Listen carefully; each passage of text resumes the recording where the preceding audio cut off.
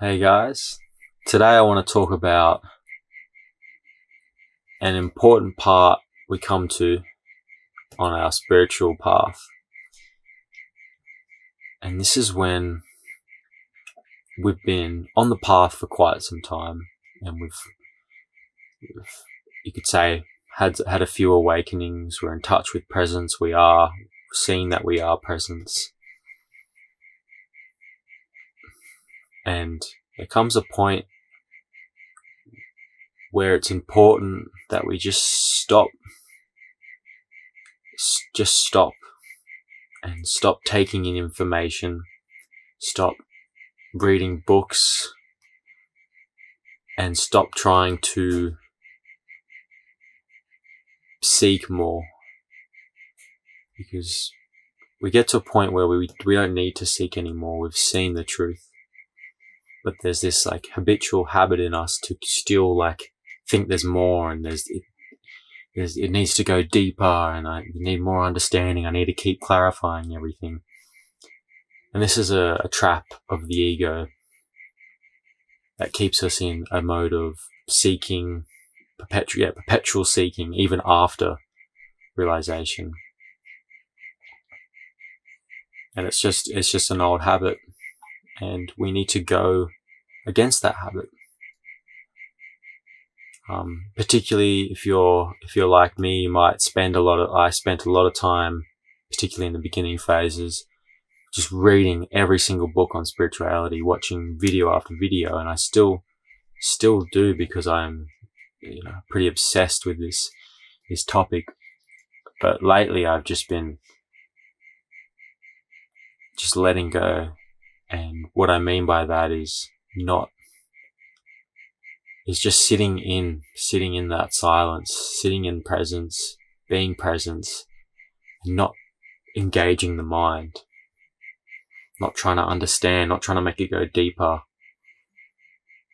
Because eventually we don't need the mind anymore. You know, the process becomes a, just an inner process that doesn't need the mind's use anymore. Until, I guess, until it does again. And this is where surrender, surrender kicks in. and we can ask us, start to ask ourselves, what, what if I just let go? What if I stop trying so hard to be something more, to make it deeper, to get better at meditation, to have deeper insights? What if I just let go completely?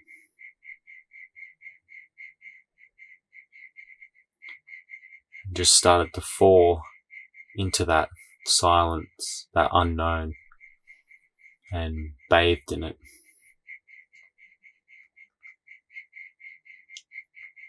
And it's important that we, we do this at some point during our practice.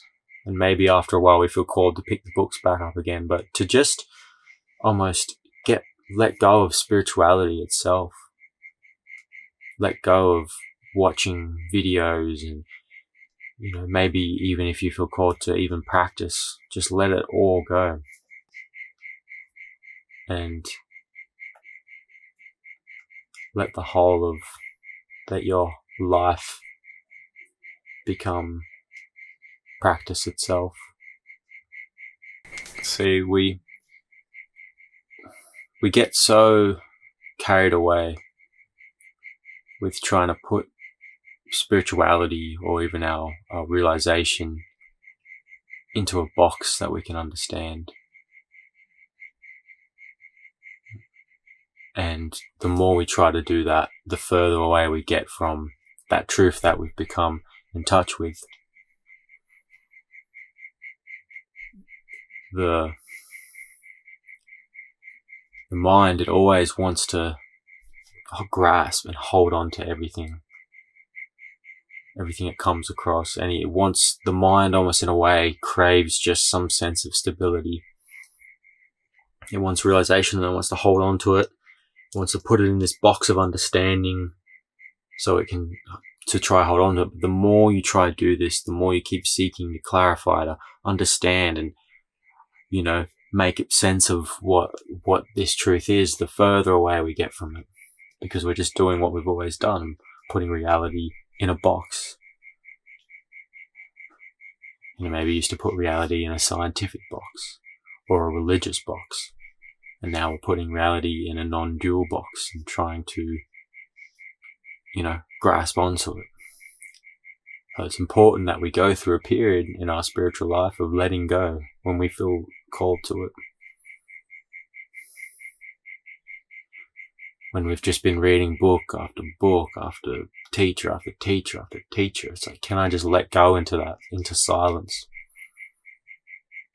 And just rest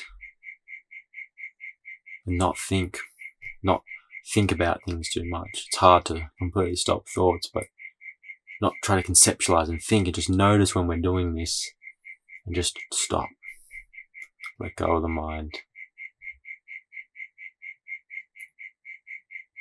Stop using words. Stop trying to understand. It's exhausting. And just sit there and be. And don't don't do anything. We just sit there and enjoy a nice cup of tea.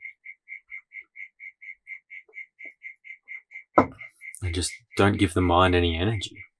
Let it, let the thoughts play on. Saying this, saying that, trying to convince you, trying to convince you of that, and just surrender into the moment. Just anytime anything arises, there's just thoughts. Just go thoughts. Thoughts arising. And they're usually about past or future. Uh, thoughts. Time. Time is just a thought. Past and future, just thoughts. Everything. Everything where reality itself, it's all almost just thoughts made up of the mind.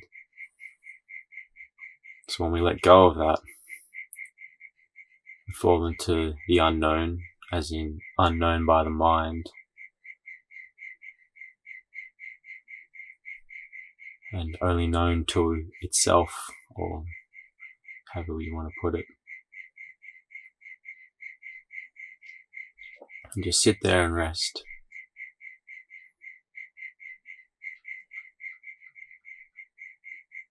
Thanks for watching. I'll see you guys in the next video.